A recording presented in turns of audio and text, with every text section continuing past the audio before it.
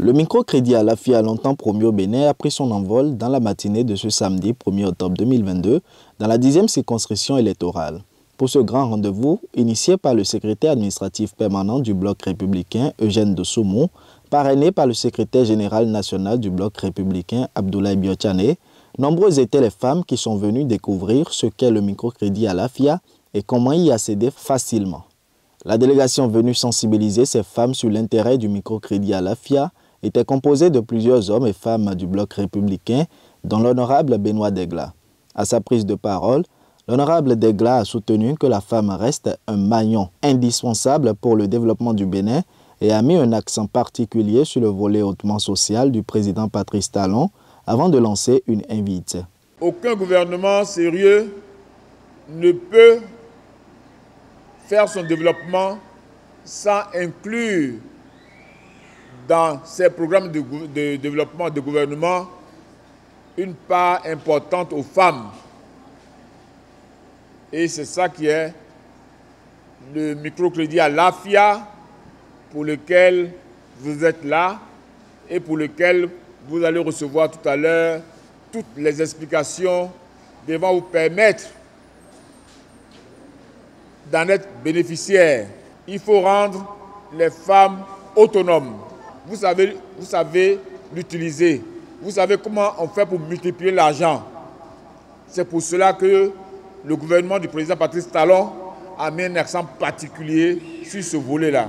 Je voudrais ici que de cette rencontre, après différentes explications, que vous, vous intégriez tout ce que vous allez apprendre ici pour pouvoir vous aussi, dès à présent, bénéficier de ces moyens qu'on met à votre disposition pour le développement familial, le développement autour de vous et pour le développement des saveurs. Quant à Eugène Dossoumou, il a évoqué le leitmotiv de ce grand rendez-vous qui consiste à mobiliser les femmes de Savet autour du microcrédit à la FIA. Le 23 mai 2021, lorsque le président Patrice Talon prêtait serment à Porto Novo pour entrer en fonction pour son second mandat, il a dit qu'il plaçait ce second mandat sous le signe du hautement social.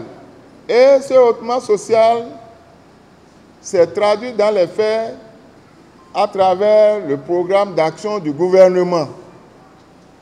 Ce programme d'action met un accent particulier sur le développement de la femme, le bien-être de la femme. Et pour cause, l'honorable Degla vient de le dire, vous êtes euh, plus de 52% de notre population. Donc vous constituez une force économique à ne pas négliger. Et dans ce projet, dans ce programme, cette vision du hautement social, le président Talon a initié un certain nombre d'actions, dont